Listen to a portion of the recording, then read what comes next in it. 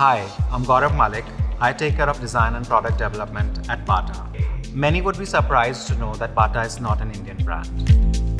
Bata has both an international appeal and it's also deeply rooted in the Indian culture. At Bata, we always try a correct balance between style and comfort. Our products are stylish enough to be worn anywhere and are comfortable enough to be worn all the times. We listen, we observe, we take regular feedbacks. We spend a lot of time in product development and innovation.